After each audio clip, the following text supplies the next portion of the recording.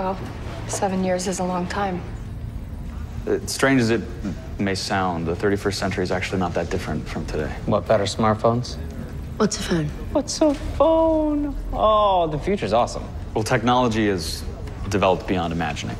But at the end of the day, it's still in service of, of communicating with each other and entertaining each other and also killing each other. In this day or in a thousand years, conflict is constant, but so is strength. And, and that's where we come in. So, what are you, um, soldiers? The governments were overwhelmed by violence, by chaos. Mon-El organized us, and we banded together to help Earth's leaders keep the peace at home and in the stars. We call ourselves the Legion. And we exist because of you. And because me? You inspired me. So when I founded the Legion, I chose to use you as an example of what we could be, of what we aspire to be. When I learned about your life and work and your compassionate fight for justice, you know, your devotion to protecting others, everything just crystallized. Your example gave my life purpose. I can't express how much it, it means for me to meet you in person.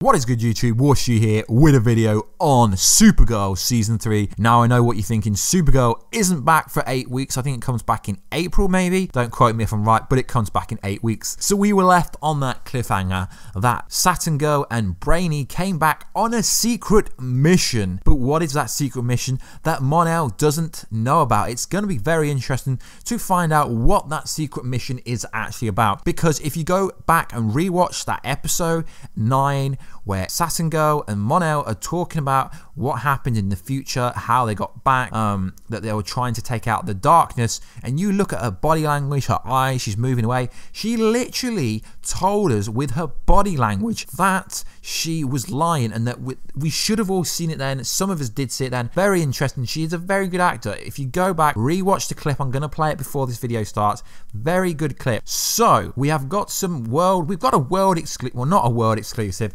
but the spoiler kind of Twitter handler that has been posting a lot of correct information is back at it posting stuff, but it did delete the stuff, so I can't actually bring it up. But basically, what's going on is around episode 16, 17, 18, well, episode 17, 18, well, it says 17 that uh, Saturn Girl and Brainiac 5 are going to go back to the future with Mon-El or without Mon-El, where it's saying that Mon-El is going to stay stay in Earth 38 in the current timeline. But what's interesting is if Mon-El and Imra actually break up, this kind of political marriage that they have won't be a forged back seven years in the future and this alliance will come tumbling down. So in theory, it could actually create um, whoever it is in the future to come back seven years and take out Kara because Kara would be the actual reason. So in recent images that came up yesterday from North Hollywood Buzz, their handler is YVR Shoots on Twitter, it appears that Amy Jackson and Melissa Benoist got on a massive argument and they stormed off set. Well, at least that's how some people report on it. So basically, there's going to be a massive argument between these two people. Most likely, it's going to be about Mon-El staying or Mon-El going. But what is actually interesting is they said that they couldn't fight Reign to start off with because their DNA is forged. Their DNA is vital for the existence, for their basic existence for the world to kind of exist. Their DNA is that important that they couldn't get involved, then they could get involved. So if Mon-El doesn't actually go back to the future with his wife, then it's going to be like a massive plot hole. So this argument could be about that. But I'm thinking most likely this argument is going to do with the third world killer, Pestilence. So Pestilence, if you look it up, is basically to do with a plague. So I'm presuming it's going to have something to do with uh, pestilence power is most likely going to be the most powerful one, except for Reign, I think. So it's going to be interesting to see where Supergirl is going. So let me know, guys. Let me know, guys, in the comment box down below.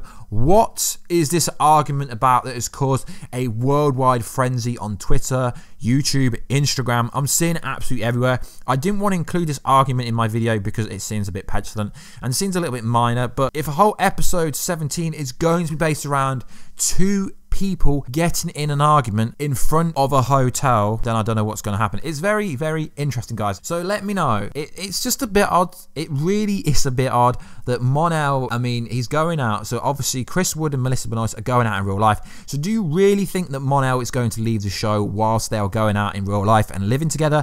No. But I think it would be more interesting if Mon-El went to the future with him and we got to see some futuristic episodes. So we got to see a handful of episodes in the future.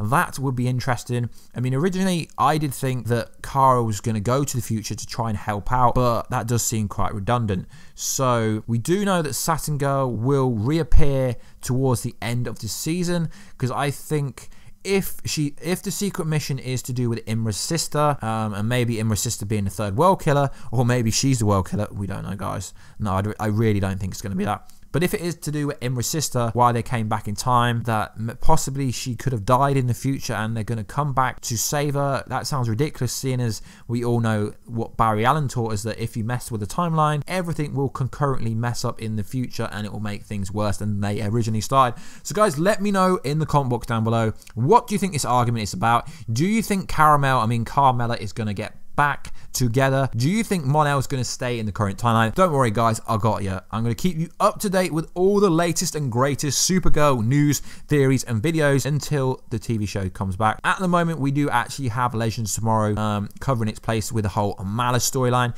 and CW have just announced they are extending one more day to their schedule. So, does this actually mean that Supergirl could concurrently air with all the other shows? If that was the case, then one of the TV shows will most likely have to be on a Sunday night. Anyway, guys, let me know about this video down below, what you think about all the questions I've asked down below.